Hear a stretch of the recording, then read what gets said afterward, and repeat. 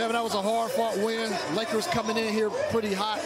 What did it take to withstand that rally they had in the fourth quarter? I mean, honestly, trying to keep them off the free throw line, but we didn't do a good job of it. They shot 35 of them tonight, but you know, it's tough everywhere else for them. So, you know, just trying to make it hard and keep them off the free throw line.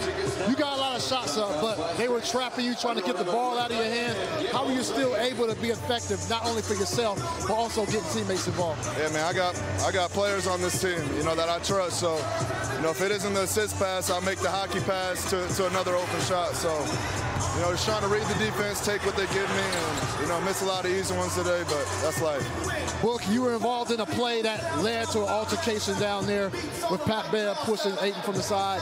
What do you think of how everything unfolded right there? What do I think about what? How do you think about how everything unfolded at that point? Man, it's just more than it was supposed to be. Um, Pat needs to stop pushing people in the back, man. Push them in the chest. That's all I got to say. Book, I appreciate your time, bro. Okay. Phoenix Suns beat the Lakers tonight 115 to 1.